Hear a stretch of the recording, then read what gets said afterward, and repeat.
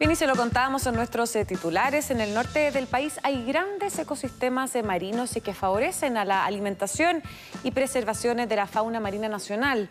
Es por esto que el Pesca firmó un comodato con la empresa Deep Tecker, quienes entregarán el servicio de un robot submarino, el cual tendrá como misión labores de vigilancia relacionadas con la pesca ilegal. Para conocer más sobre el funcionamiento de este robot, saludamos a Alicia Gallardo, directora nacional de Pesca. ¿Cómo estás, Alicia? Muchas gracias, Florencia. Muchas gracias por estar con nosotros.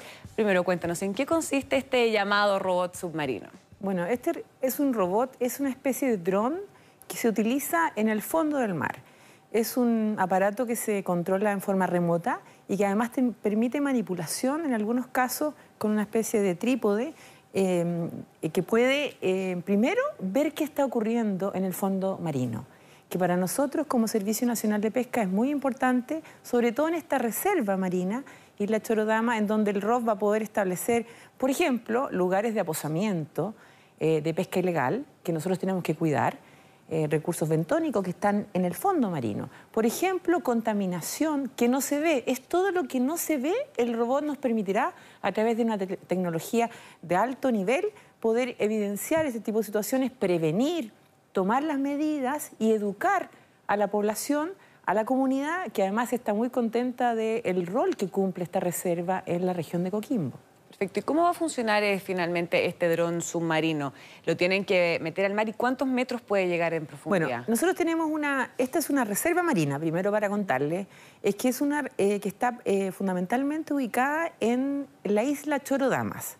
Eh, fundamentalmente, nosotros ahí protegemos a los mamíferos, cetáceos, el pingüino de Humboldt, por ejemplo, anida en esa área, eh, ciertas especies de mm, eh, lontra felina, el chungungo, que también es muy conocido, también algunos delfines, nariz de botella, y algunos otros recursos que están en el fondo. Entonces nosotros tenemos una nave una nave que se llama Surgencia, que estamos muy orgullosos de tenerla, en donde vamos a incorporar este robot que eh, nos ha eh, facilitado la empresa Deep Tracker, que para nosotros es muy importante porque también es un esfuerzo público-privado. Nosotros tenemos acceso a tecnología a través de los fondos estatales, pero esto nos ayuda a tenerlo durante un año y evidenciar en el fondo submarino a diferentes, a diferentes metros de profundidad cuál es lo qué es lo que está ocurriendo para tomar medidas preventivas y mejorar nuestra fiscalización. En el fondo, innovar en lo que hacemos nosotros y pasar a una fiscalización que en el mundo hoy día es tecnológica. Lo que ocurre debajo del fondo marino y lo que ocurre fuera a través de drones o a través de cámaras en las, embarcaciones. ¿Y cuándo podría empezar a funcionar este robot? Bueno, mañana ya, mañana ya hacemos las primeras pruebas. Ah. Así que estamos en terreno haciendo las primeras pruebas. Vamos a evidenciar qué es lo que podemos ver y lo vamos a tener durante todo un año.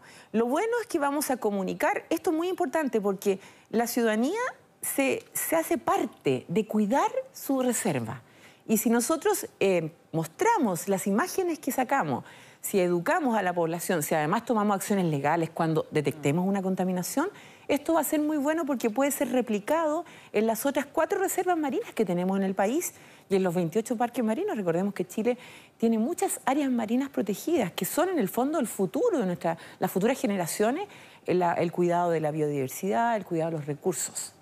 Ahora, ¿va a haber algún tipo de canal de denuncia, por ejemplo, para los propios vecinos o personas que, participen en esta reserva en el caso que vean eh, que, se, esté contaminando con basura, por ejemplo? Sí, es muy importante, Florencia. A nosotros nos interesa que la comunidad participe. Esta área es una área marina en que los pescadores participan activamente. Ellos mismos se pusieron de acuerdo para eh, identificar los barcos autorizados a circular para efectos de turismo y hay una lista de barcos que nosotros tenemos que fiscalizar. Por lo tanto, cualquier denuncia, nosotros estamos disponibles en nuestros canales, nuestra página web, nuestro, nuestra mesa de ayuda y obviamente tenemos dos funcionarios, tenemos una oficina al ladito de la CONAF con quien trabajamos muy de cerca, donde hay dos funcionarios nuestros que están disponibles durante todo el día para recibir denuncias y obviamente los aportes de la comunidad en general y sobre la pesca ilegal también es justamente uno de sus principales eh, objetivos. El problema de las áreas marinas es que se cuidan y cuando se cuidan eh, no está permitida la extracción. Además, en esta, cerca de Chorodama, en, en, la región de Coquimbo, hay un área marina de recursos bentónicos, que son áreas que se entregan a los pescadores artesanales para proteger los recursos del fondo. Por ejemplo, el loco, que es muy solicitado, la lapa, el erizo, eh, que son especies que nosotros tenemos que cuidar y sobre todo porque los pescadores se ponen de acuerdo, piden la concesión y a través de un convenio de uso con Cernapesca cuidan los recursos, tienen cuota, es un ejemplo muy bonito de cómo ellos administran un área. Y este ROV nos va a permitir, en algunos casos, eh, la pesca ilegal, ciertas mafias eh, utilizan la estrategia de aposar los recursos. Y por lo tanto es muy difícil como Pesca ver el fondo marino. Por eso la relevancia de ocupar tecnología en este tipo de, tipo de fiscalización. ¿Y en qué consiste esta empresa que, permite este robot Deep Tracker? Esta Deep Tracker es una empresa de fondo que tiene, es una empresa de origen canadiense que está en Chile promocionando varios elementos para poder uso de drones, uso de tecnología. Yo quiero relevar porque la tecnología es algo que uno dice, las empresas públicas no, no tienen tecnología. Nosotros estamos innovando en eso Hace unos cinco años tuvimos también un comodato de la Superintendencia de Medio Ambiente con otro ROV que tenemos en la zona sur.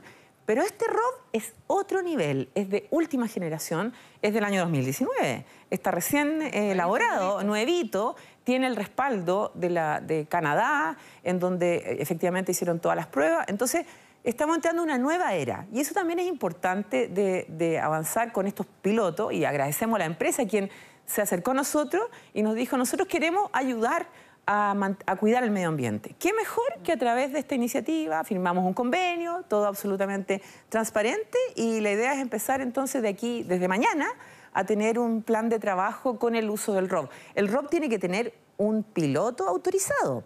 La misma empresa nos presta el servicio, o sea, dentro del paquete del comodato, nos va a, capacitar un funcionario, un par de funcionarios para que tengan la categoría de piloto del ROC. Claro, y la capacitación. Y la capacitación para cuidar el equipo y todo el asunto. Y bueno, nosotros tenemos ya navegación durante más de tres años con nuestra nave de urgencia.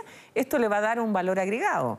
Por lo tanto, la gente va a estar... Mañana tenemos eh, pronosticado una, preparada una inauguración la comunidad está muy contenta, todo el gobierno regional, y yo creo que va a ser un muy buen ejemplo para el mundo. El tema de cuidar las reservas marinas no es fácil.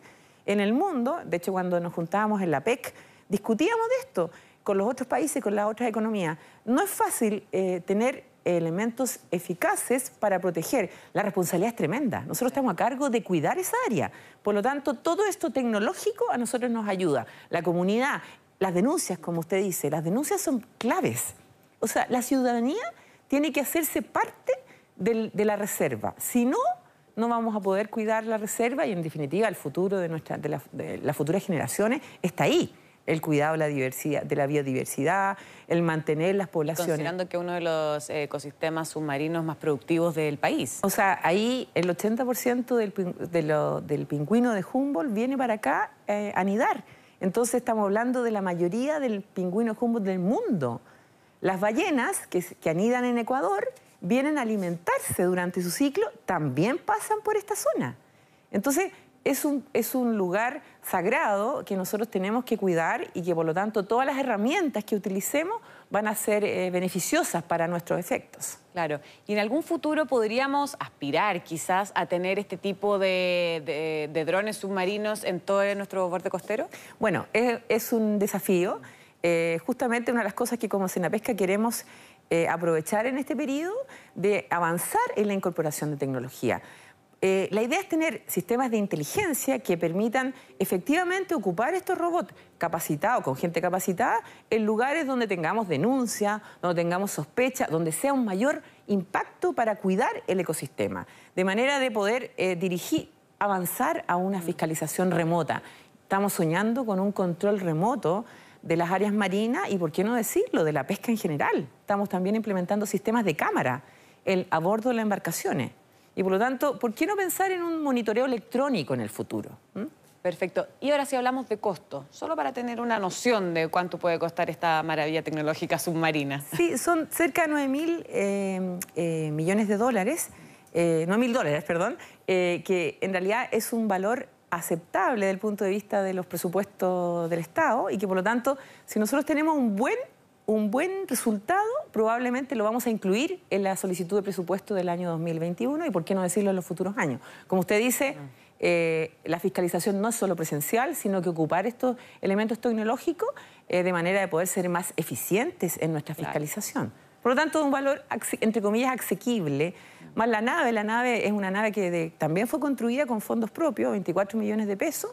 Por lo tanto, si uno suma los 24 millones más los 6 millones del RO, podríamos pensar que un equipo bien organizado en una reserva tendría un costo de 35 millones. La inversión más los funcionarios, la operación, yo creo que es absolutamente em, eh, eh, ejecutable en una institución pública considerando la responsabilidad que tenemos en el cuidado de estas áreas.